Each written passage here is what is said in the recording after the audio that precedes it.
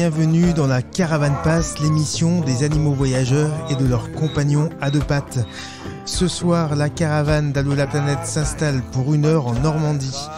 Retrouvez Fanny qui a quitté l'Ardèche en mai dernier avec sa jument Capucine. Le duo est parti pour une durée indéterminée sur les routes de France. Praticienne en shiatsu équin, Fanny propose tout au long de son voyage de faire du shiatsu sur les chevaux, les vaches, les brebis ou les chiens, des personnes qui croisent son chemin. Un très bel échange avec des gens qui l'accueillent. À 21h40, la minute pratique de Mathilde. Ce soir, il sera question de la gestion de l'alimentation et du froid en voyage l'hiver. Avant de retrouver Fanny, je vous rappelle que cette émission est en direct. Vous pouvez donc réagir, intervenir ou poser vos questions par SMS ou WhatsApp au 06 66 44 15 10 ou directement via l'application mobile de la web radio. Tout de suite, on retrouve Fanny. Bonsoir Fanny. Bonsoir Stéphane. Comment vas-tu ce soir? Tu, tu es où exactement? Alors je suis à Saint-Jean-le-Blanc, euh, dans le Calvados, depuis, depuis hier, depuis avant, oui, depuis hier. Et je suis dans une maison ce soir. Voilà. Tu es bien au chaud. Je suis bien au chaud, oui. Et ça fait du bien. tu m'étonnes, euh, voyager en, en, cette période, euh, surtout dans le, en Normandie, enfin la partie, euh, la partie nord, ça doit être un peu, un peu compliqué parfois. C'est un peu d'organisation. Ouais. oui, il y a quelques, quelques moments, des fois, où on rêve d'un chocolat chaud, j'avoue, souvent même. voilà, et puis quand on est au chaud, ben, on profite, on dort beaucoup. J'ai beaucoup dormi cet après-midi. Euh, voilà. Hmm. Qu'est-ce qui a poussé euh, Qu'est-ce qui t'a poussé sur, euh, sur les routes sans, sans prévoir de, de date retour? Qu'est-ce que tu es allé chercher sur les, sur les chemins de traverse? Alors, initialement, je suis pas allée chercher quelque chose. c'est un vieux, je dis souvent que c'est un vieux truc. Bon, je suis pas vieille, mais j'ai lu un livre quand j'avais 13 ans qui s'appelait Paris-Jérusalem à cheval, qui avait été écrit par Evelyne Coquet. c'est l'histoire de deux sœurs qui étaient parties euh, à cheval pour faire cette grande traversée. Et je pense que la petite graine du voyage a commencé là. Et puis j'ai passé ma jeunesse, euh, mes études, et très souvent l'envie revenait, un peu comme une rengaine.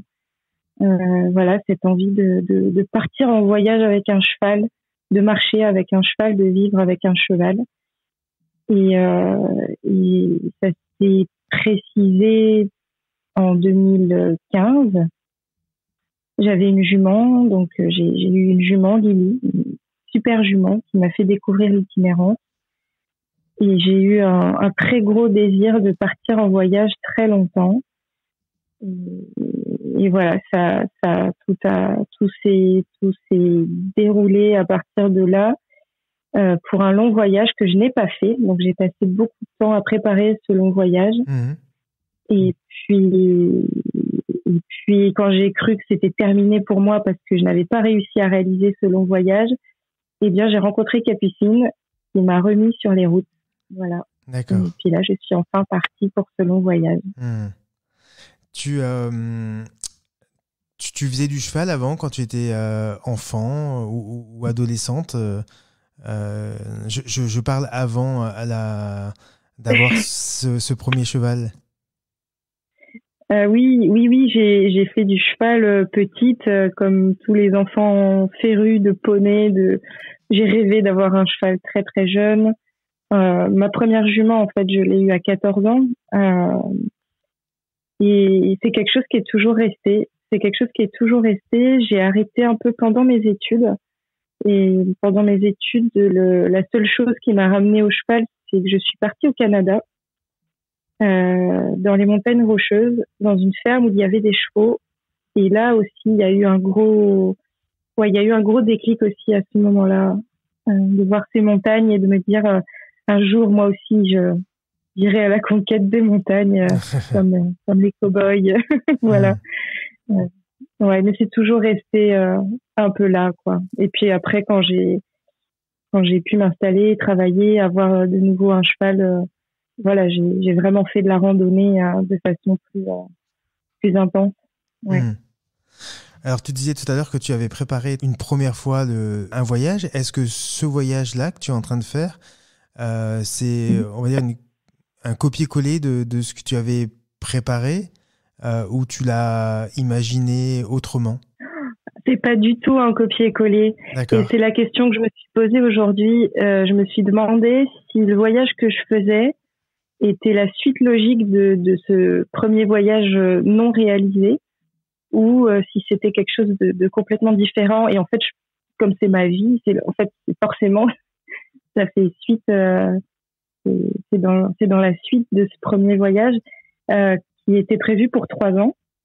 Et en fait, je voulais relier l'Ardèche à la Laponie. Ah oui. J'ai passé deux ans à préparer ce voyage avec un gros objectif géographique, un gros objectif de temps, un gros objectif aussi de, de social entre guillemets parce que j'avais prévu d'être euh, d'être euh, sponsorisée. Enfin, c'était un très gros truc. Euh, donc tout l'inverse de ce que je fais aujourd'hui, où je n'ai rien demandé à personne, où je suis partie sans objectif, euh, de, ni géographique ni de temps. Donc euh, voilà, c'est quelque part un autre voyage, mais qui n'aurait pas pu exister s'il n'y avait pas eu, je pense, la préparation de du premier non-voyage. voilà. ouais. Et alors donc pour ce voyage, tu, euh, tu, tu, avais, tu as imaginé quelques itinéraires, quelques lieux où tu souhaitais passer. Comment, comment tu, tu es arrivé en Normandie? Alors comment je suis arrivée en Normandie? Donc ça a commencé en Ardèche. en fait, j'ai repris une itinérance qui selon moi n'était pas finie. Je m'explique. Euh, il y a un an et demi à peu près, je suis partie dix jours avec Capucine parce que je fais régulièrement des itinérances de 10 à 15 jours. Et mon itinérance, euh, donc l'année dernière, s'était terminée en Aubrac. D'accord. Et je m'étais promis de la reprendre là où je l'avais laissée. Donc, quand je suis partie d'Ardèche avec Capucine au mois de mai, euh, mon premier objectif, c'était juste d'aller en Aubrac pour faire ce que je m'étais promis de faire, c'est-à-dire continuer là où j'avais là où j'avais fini ma boucle euh, l'année d'avant. Et donc ça, c'était une première grande satisfaction. Et ensuite, je me suis laissée guider, c'est-à-dire qu'une fois en Aubrac, lorsque les gens me disaient ah bah le Cantal c'est beau, tu devrais y aller, bah j'allais dans le Cantal. Okay. Et puis petit à petit, je me suis vraiment laissée porter comme ça. Euh, je suis montée jusque dans le Puy-de-Dôme. Et puis ensuite, j'ai découvert un sentier qui suit euh, qui suit la Dordogne en Corrèze, euh, qui s'appelle de village en barrage. Oh, je me suis dit ça doit être génial. Allez, je prends ce sentier.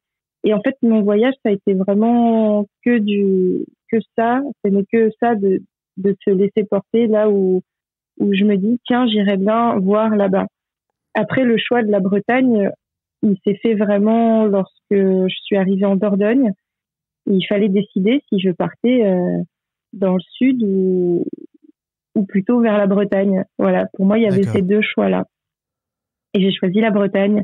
Donc j'ai fait tout le tour de Bretagne et maintenant on est en Normandie. D'accord. Et puis tu, tu pars dans l'idée euh, quand même de soigner les animaux de tes hôtes, des gens que tu rencontres. Oui. Est-ce que tu peux nous, nous dire un mot sur le chat d'abord pour ceux qui connaissent pas? Oui, avec plaisir. Alors le shiatsu, c'est euh, c'est une médecine japonaise à la base. Donc c'est un c'est un principe thérapeutique qui vise au bien-être, à l'équilibre global du corps, et on est vraiment sur de l'entretien de bonne santé. Voilà. Euh, en animalier, le shiatsu, on se situe dans le domaine du bien-être euh, et pas dans pas dans la thérapie. Voilà, c'est ambigu, mais voilà, nous on est plutôt dans ce domaine-là. Pour autant, on peut avoir des très bons résultats sur euh, sur des choses vraiment intéressantes euh, qui relèvent du soin. Mais voilà, en, en shiatsu, on fait, on ne travaille qu'avec les, les mains, les paumes, les pouces, voilà, avec les doigts. On peut aussi utiliser des moxa, qui, qui ressemblent un peu à des gros cigares qu'on chauffe. Et en gros, lorsqu'on fait un shiatsu, on fait tout un protocole de pression-relâchement sur l'ensemble du corps de l'animal alors ou des humains parce que ça existe aussi sur les humains. Et euh, cet ensemble de, de pression-relâchement va permettre de euh, rendre euh, une meilleure énergie, une meilleure circulation d'énergie dans le corps, rétablir les équilibres, etc. Et une fois qu'on a fait le protocole, on va y associer des points d'acupuncture sans aiguille. En shiatsu, on ne travaille qu'avec les, pouces, hein, comme je l'ai dit, et les mains. Et donc, selon les déséquilibres, on va travailler sur tel ou tel point euh, d'acupuncture situé sur des méridiens. Et c'est là que qu'intervient en fait la théorie de la médecine chinoise. Voilà. Donc le shiatsu tel que moi je le pratique et tel que j'ai appris, c'est à la fois cette médecine japonaise de protocole global à laquelle on associe euh, les, le travail sur le trajet des méridiens qui relève de la médecine chinoise. Voilà. J'aime bien réexpliquer un peu la, la jeunesse parce que souvent on pense que le shiatsu, ça n'est que des points, euh, alors que non, c'est un hmm. protocole global au départ. Voilà. D'accord. Et donc, en effet, moi, j'avais pour idée, en partant, j'ai terminé ma formation en avril l'année dernière. Je suis partie au mois de mai et je me suis dit, euh, ça serait vraiment super de pouvoir profiter de cette grande itinérance pour pratiquer en étant dans un contexte très très serein et très sain en fait avec les personnes que je vais croiser et de me dire ben, dès que je rencontrerai des personnes qui sont propriétaires de chevaux ou de, de vaches, c'est quand même les deux animaux de prédilection, pourquoi pas proposer en échange de l'hospitalité euh, un shiatsu. Et comme ça ça permet de faire découvrir parce que ben, les gens connaissent assez peu le shiatsu. Ouais, j'imagine. Donc ça permet de faire découvrir, voilà. Et puis, c'est souvent des très jolis moments entre la personne, son animal. Et puis, moi, ça me permet de, bah, de pratiquer et puis de, de me tester aussi dans cette nouvelle, euh, cette nouvelle activité quelque part que, que je construis. Hmm. Et, et, tu pratiques aussi, je suppose, sur, euh, sur Capucine? Ah oui, Capucine, c'est mon, c'est mon maître. C'est elle qui m'a c'est sur elle que, que, que, je pratique le plus. C'est mon thermomètre. Souvent, pour moi, je dis que c'est mon thermomètre euh, du shiatsu. Euh, c'est avec elle que je que j'arrive à savoir où j'en suis et, et, elle aime beaucoup son shiatsu. Elle aime beaucoup ça, hmm. Avant de reparler de ton de ton itinéraire, de, de des, des, lieux que tu as traversés, est-ce que tu peux me nous, nous dire avec quel type de matériel tu, tu es parti? Est-ce que tu as des bas? Est-ce que euh, tu, tu, montes ta ponette, enfin ton, ta jument? Est-ce que tu peux dire ponette parce que techniquement c'est une ponette. c'est ce que j'ai lu sur ta page euh, Facebook, qu'effectivement. Euh, oui. oui. oui, et ça lui va bien d'ailleurs d'être une ponette. D'accord. je, je voyage donc avec une selle et des sacoches et je monte. Alors en général, je, je monte, on va dire deux heures peut-être trois heures par jour grand maximum, rarement plus. Euh, pour deux raisons, c'est que déjà euh, je m'ennuie au bout d'un moment. quand, quand, voilà, on, est en voyage, on est uniquement au pas et moi c'est vrai qu'au bout de trois quarts d'heure, une heure, j'aime bien descendre et marcher. Et puis bien sûr la deuxième raison, c'est que Capucine porte tout le matériel et quand elle me porte moi, ça commence à faire un peu de poids. Donc le matériel, c'est euh, une selle de randonnée, et puis j'ai une paire de sacoches arrière, une grosse paire de sacoches arrière, un gros boudin de randonnée euh, que je mets par-dessus les sacoches, derrière le siège. Et puis j'ai deux paires de fontes à l'avant et ma tente. Voilà. D'accord. Et puis bien sûr, j'ai une avaloir pour retenir la selle derrière et un collier de chasse devant pour maintenir l'ensemble, euh, surtout dans les dénivelés en fait. Hmm. Voilà comment je voyage euh, avec ma maison sur le dos de Capucine. avec l'essentiel. Tu es autonome finalement? Non, je suis tout sauf autonome. Ah d'accord. J'ai besoin sans arrêt des gens pour boire de l'eau, pour euh, pour recharger mon téléphone. Donc euh, je me considère pas comme autonome. Ok. Après je je pense tu veux dire par autonome, je peux m'arrêter le soir et voilà. et t'as as à manger? Ne dépend que de moi. Les Voilà, oui. Je, je peux avoir de l'autonomie sur un temps donné effectivement, qui est très court parce que je n'ai pas euh, de cheval de bas. Donc le temps est court. Euh, voilà, j'ai trois jours d'alimentation. Je ne transporte que très peu d'eau Donc je recharge mon eau deux fois par jour minimum. Euh, voilà, mais oui, après il y a, y a des soirs où je suis euh, où je suis autonome. Bah, L'été plus que l'hiver. ouais, j'imagine. Mais c'est vrai qu'en en, voyage comme ça, on est on est rarement autonome. Enfin, comme tu le dis, hein, ne serait-ce que pour euh, pour l'eau, l'électricité, on a on a besoin de, de l'autre, de des rencontres pour oui. bah, pour ça pour ça. Juste, je reviens sur, euh, sur ta ponette. Mhm. elle, fait, elle fait combien au, garrot? Enfin, C'est quoi sa taille? En fait, 1m45 ou 47, je sais jamais vraiment. Ça dépend où on la mesure. Je suis nulle à ça. mais, euh, mais voilà, elle est, elle est pas très grande. Mais comme elle est croisée euh, cheval de trait, elle est assez massive. Elle est costaud, elle est très costaude. Elle est très costaude. Elle a vraiment de l'os. Elle est pie marron, donc blanche et marron. Et, elle a un charme fou. C'est Capucine. et du coup, elle porte combien ou elle pourrait porter combien? Alors, les, puristes disent qu'il ne faut pas mettre plus de 15% du poids du cheval sur son dos. Euh, en randonnée, souvent, on dit 20%. Moi, quand je quand je suis sur son dos avec tout le matériel, maximum, on est à 95 kilos. Donc sur un cheval de 550 kilos, je suis pas mal. Voilà. Hmm. Je suis pas mal. Et quand je suis pas sur son dos, elle porte 30, euh, ouais, 35 kilos. Enfin, c'est rien. Hmm, c'est rien. Elle est, bien. Elle est bien. Hmm. On va faire une, une petite pause musicale. Tu as, tu avais euh, choisi Frank Sinatra My Way. Euh, tu, nous dis un petit mot euh, sur, sur, sur, cette chanson, sur bah, pourquoi tu as fait ce, ce choix ou... Oui, alors avec plaisir. C'est une chanson que j'ai beaucoup écoutée au Canada avec une copine que je me suis fait là-bas. On était deux, toutes les deux à travailler dans cette ferme et on écoutait sans arrêt cette chanson et c'est l'histoire de quelqu'un finalement qui, qui arrive, euh, qui dit que bah voilà sa vie, il l'a faite à sa façon, I did it my way. Hmm. Et je trouve que c'est assez représentatif de ce qui se passe quand bah, quand on décide de, de créer son voyage comme ça. voilà, moi c'est une musique qui m'a beaucoup transportée dans ces rêves de voyage euh, en montagne. Voilà. Et eh ben on se retrouve juste après My Way, Frank Sinatra. À tout de suite.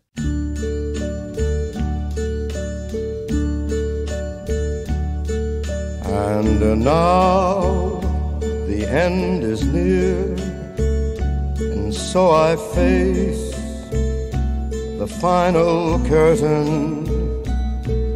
My friend, I'll say it clear, I'll state my case, of which I'm certain. I've lived a life that's full I traveled each and every highway and more, much more than this. I did it my way. Regrets, I've had a few, but then again, too few to mention.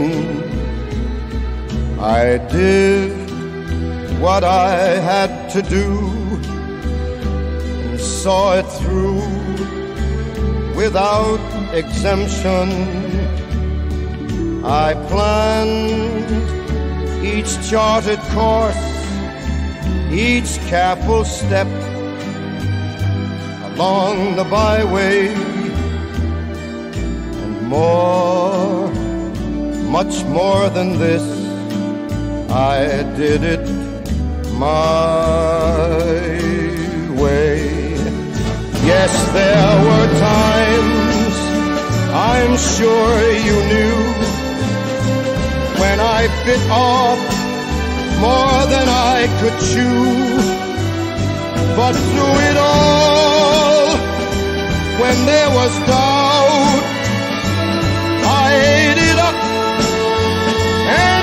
did it all. I faced it all, and I stood tall, and did it my way. I've loved, I've laughed and cried, I've had my fill, my share of losing and now, as tears subside, I find it all so amusing to think I did all that. And may I say, not in a shy way, oh no, I did it my way. For what is a man? What has he got? If not himself, then he has not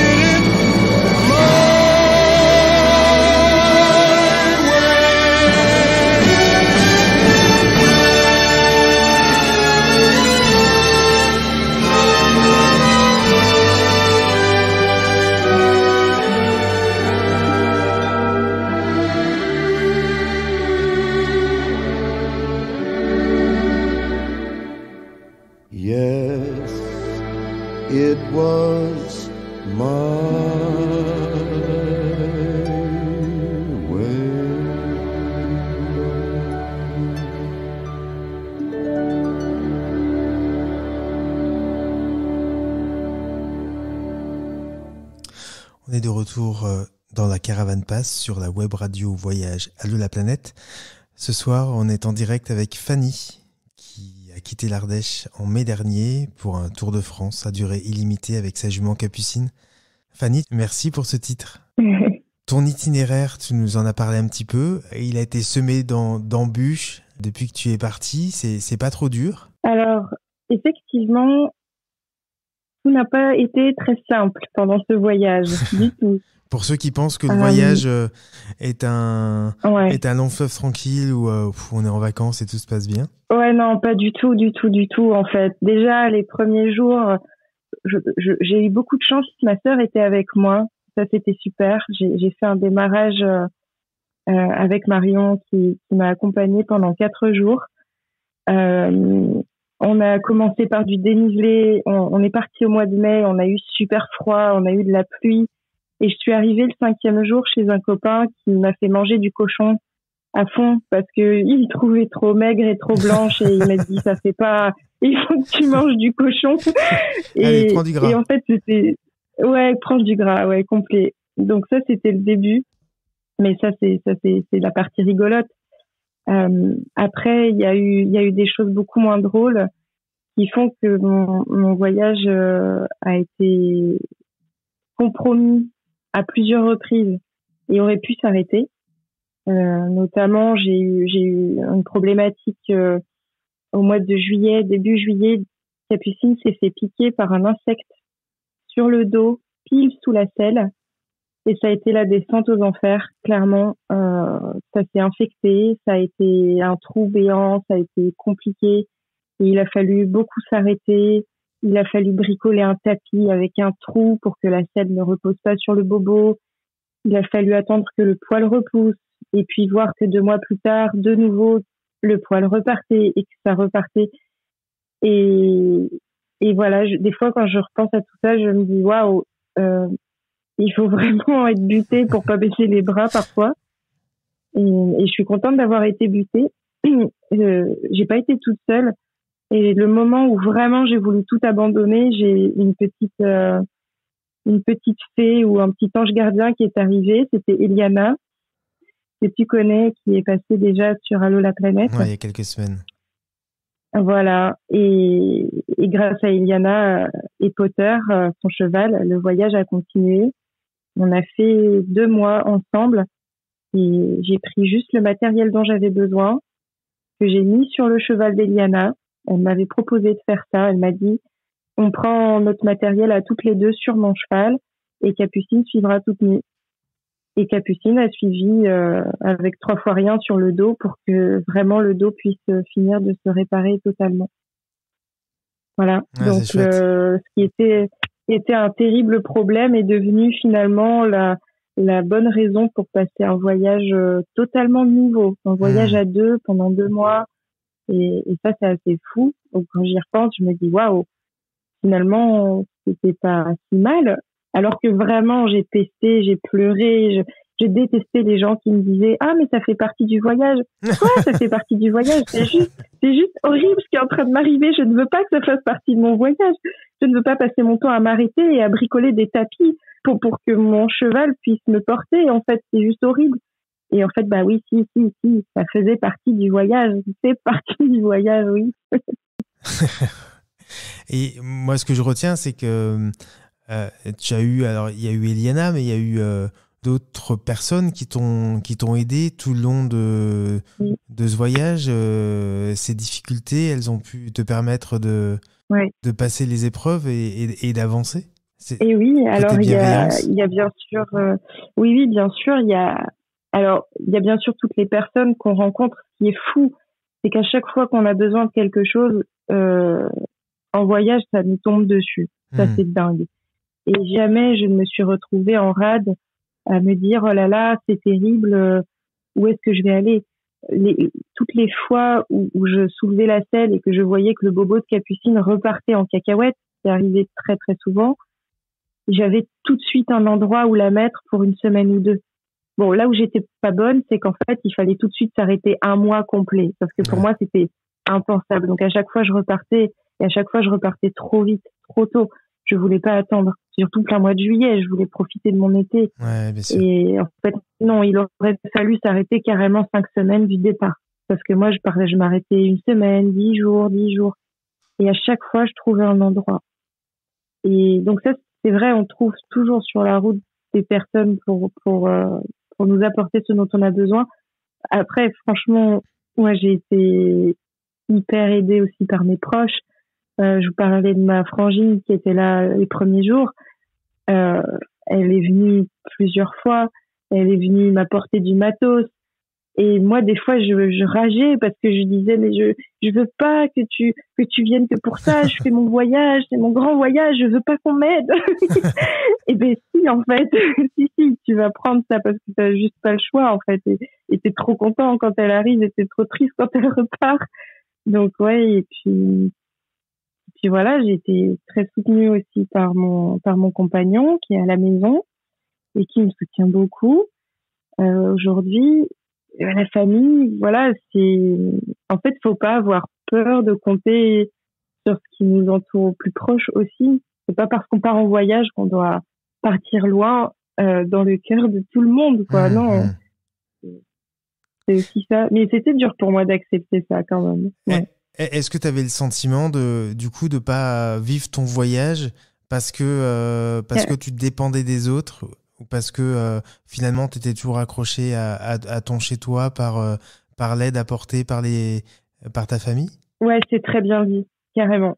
Il y a vraiment eu cette partie où j'ai eu l'impression de ne pas partir parce que je, dépendais, en effet, ou pas forcément je dépendais, mais qu'il y avait toujours cette accroche-là. Et ça donne l'impression pour le coup de de pas être dans le voyage et c'est pour ça que souvent je dis mon voyage il commence que maintenant parce que maintenant enfin tout va bien. Mais en fait c'est faux. Le voyage il a commencé en mai en vrai. Mmh, mmh. c'est juste la, la sensation que je mets dedans qui est, qui est modifiée. Mais c'est vrai que moi j'avais l'impression et j'ai toujours quand même la sensation que pour vivre le voyage j'ai besoin de pouvoir être sur la route en chemin pendant un moment assez long. Ouais. tu vois? C'est-à-dire pas juste dix jours. et il y a eu une grande partie de mon voyage où je, marchais rarement plus plus de 15 jours ou trois semaines, donc ça devenait un peu pesant à mmh. Donc voilà, j'ai aussi envie de, de, dépasser ça et de pouvoir me dire ok là j'enchaîne. Ce côté, ce côté où t'enchaînes en fait. Mmh. Oui, alors que là on est dedans là. Ah ouais, tu, tu as, as fini par lâcher prise. Ouais, tout doucement. Et encore, c'est assez récent. C'est assez récent. Mais, mais effectivement, ouais, je commence à, à me dire que quand je regarde derrière, maintenant, tous ces mois passés, bah, tout fait partie du voyage au final. Eh oui. Oui. Donc je lâche un peu prise, mais il faudrait pas trop que ça se reproduise parce que j'aimerais bien avancer. oui, alors que tu es parti pour une durée indéterminée et que finalement euh, euh, tu es en itinérance, enfin je dirais même tu es euh, nomade hein, après tant de, de, mois passés sur les routes. Ce n'est plus seulement en voyage et, et, et, tu, tu, vis, tu vis le voyage d'une façon finalement. Ouais. Alors il faut savoir qu'au départ, je pensais pas du tout partir aussi longtemps. Je, je pensais partir et rentrer à l'hiver, tu vois, en octobre, novembre, euh, gentiment, en me disant l'hiver m'arrêtera. Et je pense que le fait d'avoir été autant stoppé dans mon voyage fait que j'ai pas eu envie d'arrêter là. Pour moi, j'avais envie de rentrer vraiment dans cette itinérance longue, de pouvoir cheminer vraiment et c'est pour ça que, que j'ai continué aussi. Et puis hmm. parce que j'ai un attrait aussi pour l'hiver, voilà, je voulais voir aussi comment ça serait. Et en fait, j'adore voyager en hiver, hein, véritablement. Et donc, ouais, c'était pas prévu de partir aussi longtemps. Et au final, ça se fait très naturellement. Hmm. Et c'est ça qui est beau quand on n'a pas d'impératif. Moi, le plus beau cadeau que je me sois fait dans ce voyage, c'était de me donner aucune limite de temps mais aussi aucun objectif à remplir. Si je m'étais dit, il faut que je parte un an, bah, euh, ça met la pression. Je me suis juste dit, je vais partir et on verra. Et, et au final, j'ai dépassé ce que je pensais que je ferais. Donc, c'est encore plus beau, quoi. Hmm. Ouais. Ouais, c'est chouette. Alors, tu parlais de, euh, de, de voyager en hiver. C'est quoi que tu recherches euh, en, en, cette saison? C'est quoi qui te plaît? Parce que toi, tu galères ce qui me hein, plaît beaucoup, c'est Ouais, mais il n'y a pas de moustiques. Ah donc il n'y a plus de piqûres et il n'y a pas de canicule. Donc pour la jument, tout est plus facile. Vraiment, les animaux voyagent tellement mieux l'hiver. L'herbe n'est pas trop grasse, donc Capucine peut enfin arrêter de prendre du poids. Elle ne perd même pas de poids, ma jument. Juste, elle arrête d'en prendre. C'est déjà pas mal. Et donc, il y a toute cette partie animale qui est beaucoup plus facile, je trouve, l'hiver. Et en fait, il y a aussi le côté euh, contact avec les gens qui est complètement différent. Ah tu prends tellement plaisir à rentrer dans une maison, tu prends tellement plaisir à ce qu'on t'apporte un thermos de soupe au bivouac. Je veux dire, quand tu es là, et tu commences à sortir ton réchaud et que tu as le voisin qui arrive avec un thermos de soupe, c'est juste magnifique. J'ai décidé que je m'achèterais un livre sur les soupes, d'ailleurs, en rentrant chez moi, tellement je me suis découvert une passion pour la soupe. Euh, ouais, je, je trouve qu'il y a un, contact qui est, qui est super avec les gens. Après, honnêtement, il y a des jours où j'en bave vraiment, c'est clair. Alors ouais, mais ça fait partie du voyage et puis t'as choisi. Ouais, bon, n'empêche, n'empêche que, que ouais, la première fois où j'ai dégivré ma tante à la main, à main nue, euh, j'ai un peu eu mal. Donc maintenant, j'utilise des gants de vaisselle d'ailleurs pour dégivrer ma tante et ça marche trop bien. Ah oui, j'ai vu ça, ouais. Mais voilà, ouais, c'est super. Euh, voilà, il y a plein de choses sur lesquelles il faut se caler l'hiver. Mais en vrai, je, prends beaucoup, beaucoup de plaisir. Mais déjà, il faut se caler sur euh, le lever et le coucher du soleil. Euh, alors, en voyage, on le fait à toute saison. Mais là, l'hiver, quand le soleil se lève à 8 heures et qu'il se couche à 4 heures, pour rencontrer des gens, c'est pas un peu compliqué? Oui, il y, a eu, y a eu une période, il y a une période, ouais, avant les fêtes où je trouvais que hum, c'était compliqué parce que tu arrives en plein milieu d'après-midi et les gens sont encore au travail. En fait. Après, c'est vrai que moi, je vais pas mal dans les fermes quand même, donc les gens sont là. Et puis, bah, je fais aussi du bivouac euh, solo, donc j'ai pas toujours besoin non plus d'aller chez des gens. Ouais, c'est vrai. Euh, voilà, j'essaye, euh, j'essaye de dormir dans une maison au moins, on va dire, une fois par semaine, si possible. Voilà. Bon, bah écoute, on va laisser la parole à, à Mathilde qui justement va nous parler de, de la gestion de l'alimentation et, du froid en, hiver. Et puis on, en reparle euh, juste après. Mhm.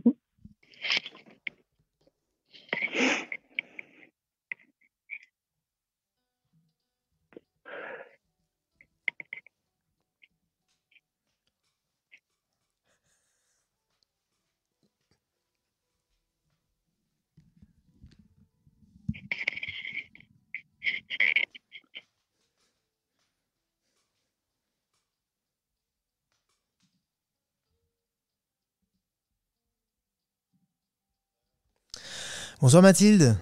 Bonsoir Stéphane, bonsoir Fanny. J'espère que tout va bien. Ben bien et toi? Très très bien. Moi je suis au chaud donc ça ah, va. bah écoute. Alors raconte-nous. Euh, avant de commencer. Oui. Ouais, avant de commencer, je voulais remercier euh, Fanny de m'avoir soufflé la thématique de cette chronique.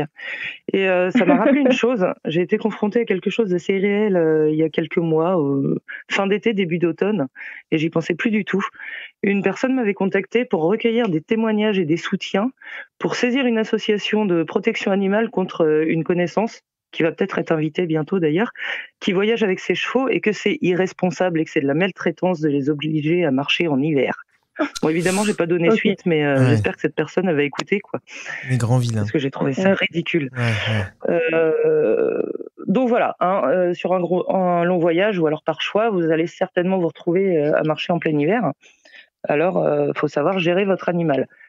Alors, comme disait Fanny, hein, des fois, les gens prévoient de rentrer ou de, ou au moins de se poser pendant la période hivernale, euh, par peur de pas savoir gérer ou, Mhm. ou voilà. Donc, je vais passer rapidement sur euh, la vigilance hein, dont on doit faire preuve sur les terrains euh, pendant cette période les chemins qui sont gelés ou trempés et, et leur risque de glissade et donc de blessure. Les chemins boueux avec les mêmes risques, plus le risque de perte des fers à cause de l'effet ventouse hein, de la gadoue. Donc en cas de doute hein, sur un chemin, sur un chemin comme ça, si vous êtes à cheval, bah, vous descendez et puis vous passez devant et puis vous regardez au marché, vous ralentissez. Et ça peut paraître tout bête de dire ça. C'est vrai que ça paraît un peu, mais tu nous prends pour des cons ou quoi? mais euh, il y a beaucoup d'accidents euh, tout bêtes qui pourraient être évités juste comme ça, quoi. Euh, on va oublier aussi euh, un rappel tout simple hein, qui est valable aussi pour l'humain, pour euh, n'importe quel animal. Quand il fait froid, bah, encore plus qu'aux autres saisons, bah, la journée de marche, on la commence doucement, on s'échauffe, on part pas à fond, quoi. Voilà. Passé ça, on va se concentrer sur le froid que peut ressentir notre animal hein, pendant pendant cette saison. Donc on va faire un petit rappel de la physiologie hein, des chevaux, et des ânes, euh, des Mhm. mules. Euh, donc les chevaux, les poneys, les ânes en général, ils muent à l'automne pour enfiler leur pyjama d'hiver, c'est-à-dire un poil plus épais, plus long, qui forme une couche euh, protectrice sur le corps en enfermant euh, l'air entre le poil et la peau. Euh, ça, c'est la base. Mais il y a quand même quelques différences entre les animaux, et ça peut jouer sur leur résistance au froid au départ. Autant les chevaux, ils muent à partir de l'automne. Euh, en 10 jours, 3 semaines, en, général, ils sont prêts à affronter l'hiver. Euh, c'est le, le temps d'adaptation officiel au gros changement de température. Après, euh, chacun son, chacun est comme il est. hein. Les ânes, par contre, ils commencent leur, leur mue un peu plus tôt. Enfin, je sais pas le tien, mais les miens, fin août, ça commence. Ouais. Et c'est très très long à arriver, le poil. Donc le, le délai d'adaptation est beaucoup plus long. Alors là, il n'y a pas de chiffre exact, de durée exacte, hein, parce que le souci avec les ânes, c'est que les sources fiables, elles sont très très rares. Euh, une autre différence, c'est dans leur poil en lui-même. Euh, Il y a des races de chevaux, par exemple, qui ont un poil beaucoup plus fin, donc moins isolant. Par exemple, un cheval arabe, euh, il sera moins isolé qu'un poney Shetland. Hmm. Euh, c'est génétique, il n'y a Ouais, rien à y ouais. faire. Euh, les chevaux aussi, ils ont un poil imperméable. C'est-à-dire que s'ils sont sous la flotte, sous la pluie, pardon, je me laisse aller. S'ils sont sous la pluie ou sous la neige, euh, il faut quand même un moment pour que ça pénètre sous le poil, sous la couche supérieure de poil. Par contre, les ânes, c'est totalement différent. Euh, leur poil de nounours, il leur permet de résister au froid, mais par contre, il est absolument pas imperméable. L'eau, la neige, ça pénètre directement. Et donc, ils sont vite trempés jusqu'aux os.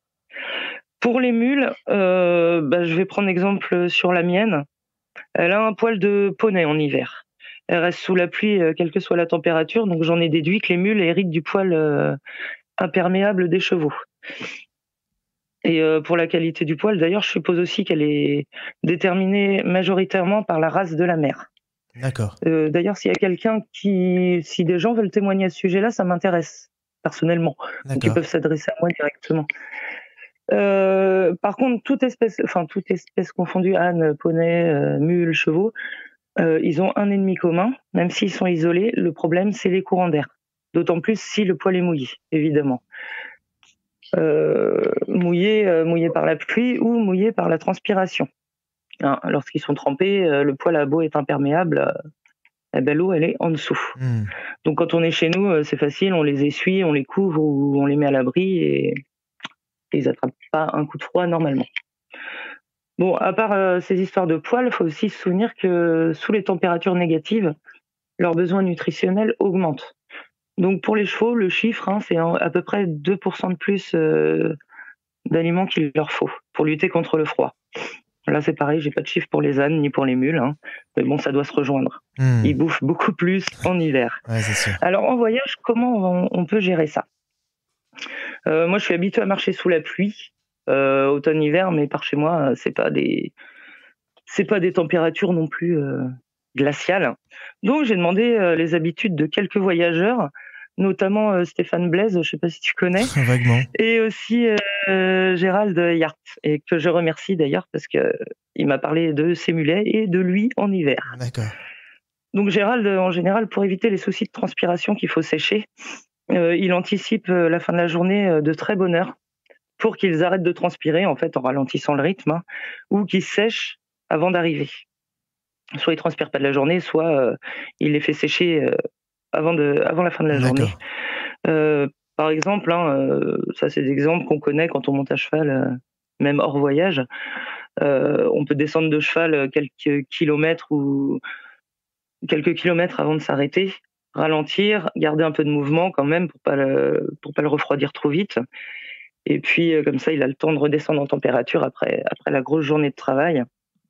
Euh, ça évite de se refroidir trop rapidement. Hmm. Si, comme moi, vous avez un animal batté, euh, faut éviter de tout lui enlever et puis de le poser là et puis euh, bah, tu te débrouilles, tu manges et puis euh, voilà.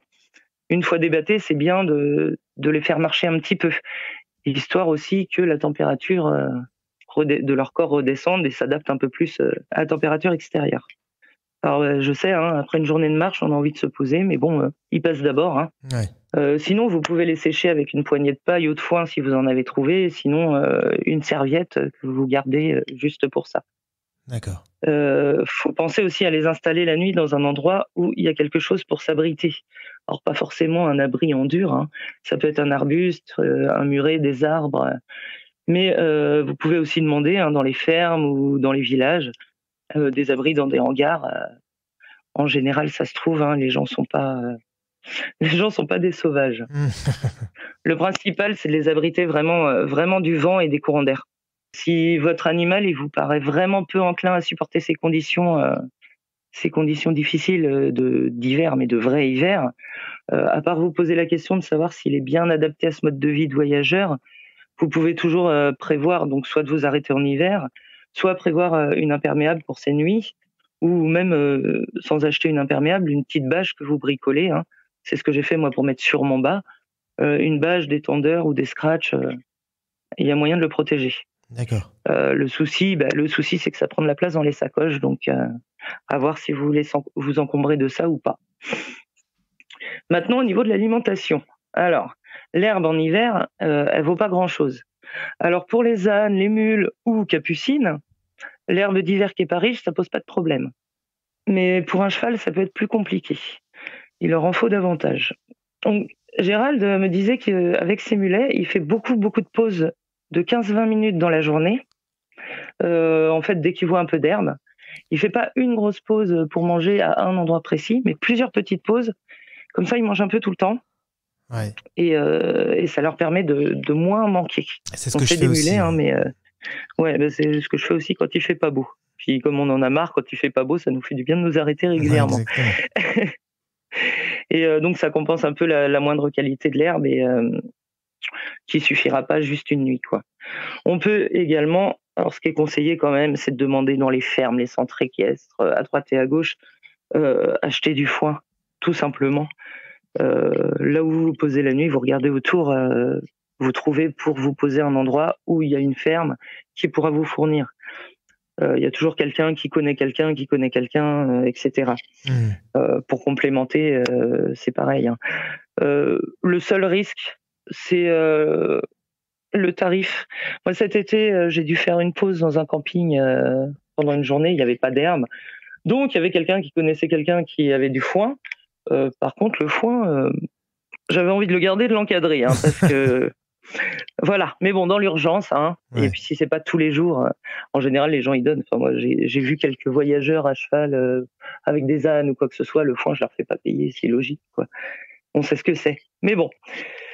Euh, sinon, vous pouvez toujours aider aider l'organisme de votre cheval avec avec des vitamines et des minéraux. Hein. Vous trouvez ça en petit conditionnement, mais vous pouvez le faire que en cure. Vous pouvez pas emmener des granulés de, de vitamines pour pour six mois, un an de voyage, c'est pas possible. Mais ça, c'est pareil, vous pouvez en trouver sur la route. Enfin, pas sur la route, mais chez les gens. Ouais, chez les gens. Donc en fait, enfin, c'est pas impossible du tout. Il faut juste anticiper les fins de journée. Il faut anticiper les lieux de bivouac euh, qui vont être plus exigeants pour euh, pour l'abri de votre animal que euh, sur une saison été, printemps.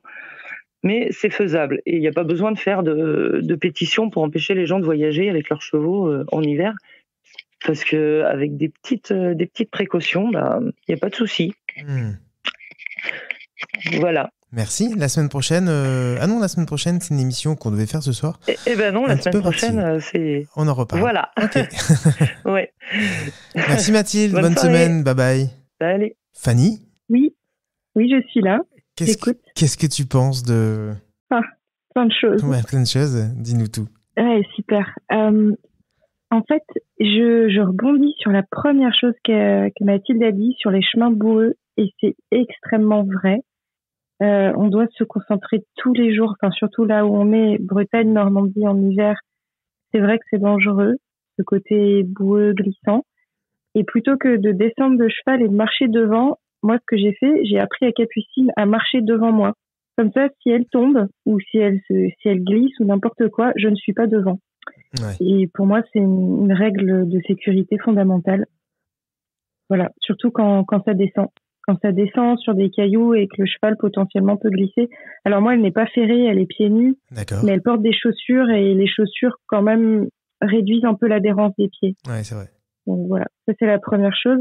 Après, oui, clairement, euh, moi j'essaye d'alterner quand Capucine est à l'herbe et au foin. J'essaie de faire en sorte qu'il y ait au moins s'il y a deux soirs où elle est à l'herbe, il y a un soir où elle est au foin. Tu vois, je fais un jour sur trois où elle est au foin. Et elle peut le bouder. Là, euh, je lui ai proposé du foin, elle a rien mangé parce que l'herbe lui paraissait beaucoup plus intéressante, par exemple. Voilà. D'accord. Maintenant, oui, les minéraux, c'est important.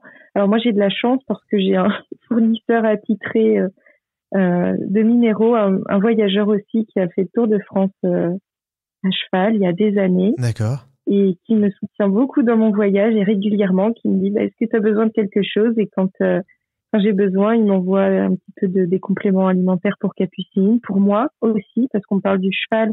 Mais moi je mange je prends aussi des compléments pour euh, d'algues pour avoir des vitamines etc mhm. et voilà penser à donner du sel au cheval aussi. Ouais ouais ouais très important. Est-ce qu'on peut dire qu'en voyage l'alimentation euh, même en hiver est meilleur puisque l'animal mange, euh, enfin, a plus le choix de, de plantes euh, qu'il mm. n'aurait dans un, dans un parc euh, ou chez lui Alors, je dirais que oui, oui, mille fois oui. Plus, plus le cheval a le choix sur une nourriture diversifiée et mieux il porte parce que c'est quand même un nomade à la base. Le cheval, c'est un animal nomade qui est fait pour grignoter. Et je dis bien grignoter et non pas s'empiffrer. 16 heures par jour. Donc ça, c'est énorme euh, à prendre en compte.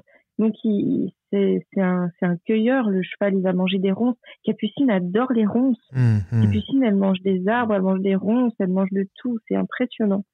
Et oui, effectivement, plus c'est varié, mieux c'est.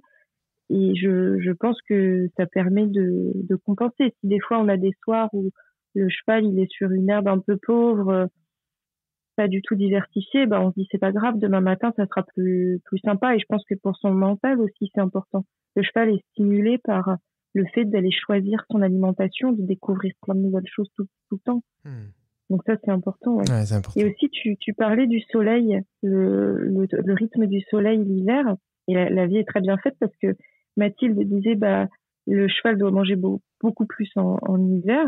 Elle disait 2% je crois euh, pas retenu exactement, mais 2%. Euh, donc il lui faut plus de temps alloué à l'alimentation. ouais, Capucine, à partir de 17h, là en ce moment 17h, il y a encore un mois c'était 16h, mais entre 16 et 17, en fait, elle mange jusqu'à 8, 9 h du matin. Et elle dort aussi. hein. Oui, oui, tu vois, elle a quand même un très grand temps de pour pouvoir aller piocher sa nourriture. Voilà. Donc compter bien sûr le temps pendant qu'on marche. Alors bon, moi l'hiver, j'avoue que m'arrêter régulièrement 15 minutes, parfois c'est compliqué. Hein. Il y a des journées d'hiver où tu t'arrêtes pas. Hein. Ça pique. c'est vraiment froid. Mais mais par contre oui, toutes les deux trois heures, elle peut, elle prend quelques brins d'herbe. Euh, le midi, je fais quand même une petite pause et les journées sont hyper courtes. On part, il est 10 heures, on s'arrête, il est 16 heures. Euh, voilà, euh, le cheval, il tient largement, il peut largement tenir ça. les journées, les journées de marche sont beaucoup plus courtes. Oui. Et en même temps, ça va bien hein, parce que physiquement, moi personnellement, je pourrais pas faire beaucoup plus. Hein. Dans tous les départements euh, que tu as que tu as traversé, est-ce qu'il y en a un qui t'a qui t'a le plus plu ou, ou, d'autres, enfin plusieurs Est-ce qu'il y a un endroit où où tu t'es dit, waouh, si, ah. euh, si j'avais pas l'Ardèche, je me poserais là? Là là. Eh ben, je le dis à chaque fois que je traverse un département. D'accord. Donc, euh, ouais, en vrai, vraiment, quand j'ai, quand j'ai fait la Corrèze, j'ai trouvé ça merveilleux. Hmm. Quand je suis arrivée en Dordogne, je me suis dit, waouh, c'est merveilleux pour le cheval ici.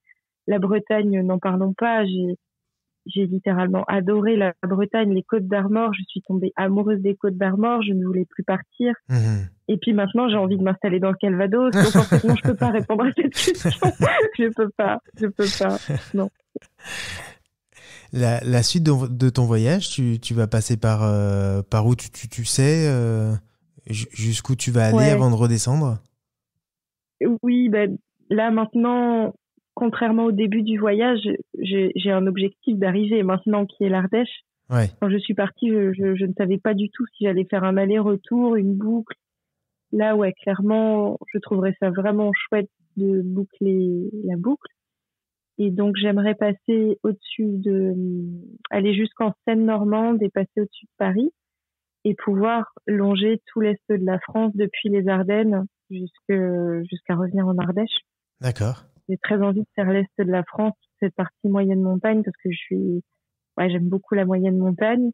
Et Capucine, en plus, c'est un, vrai petit quad en montagne. Elle est, elle est super. Donc, je pense qu'on va bien, bien s'amuser, ouais. Bon, t'es pas encore rentré, quoi. Non, non, pas du tout. Qu'est-ce qui te, qu'est-ce qui te plaît plus dans, dans, dans ce voyage? C'est, euh, c'est, les rencontres, euh, les, les paysages, euh, le voyage en, en lui-même C'est le matin quand je charge tout sur Capucine. D'accord. Je crois que c'est mon moment préféré. Quand tout est prêt, quand les sacoches sont pesées, quand la tente est rangée et que Capucine est prête et que je, que je mets tout sur son dos et qu'on part. C'est les premiers pas du matin. Je crois que c'est ce que je préfère. C'est fou, hein? Ouais. C'est le départ, le, les nouveaux paysages que tu vas, que tu vas traverser? Ouais, cette sensation de, de départ tous les matins. Hmm. Ouais. Je crois que c'est ça. Après, c'est vrai qu'il y a bon, la particularité quand on reste longtemps à des endroits, c'est qu'on s'attache aussi aux endroits, aux personnes. Et moi, par exemple, sur mon voyage là, j'ai ri comme j'avais pas ri depuis des années. Et je m'attendais pas du tout à ce que mon voyage m'amène ça, en fait.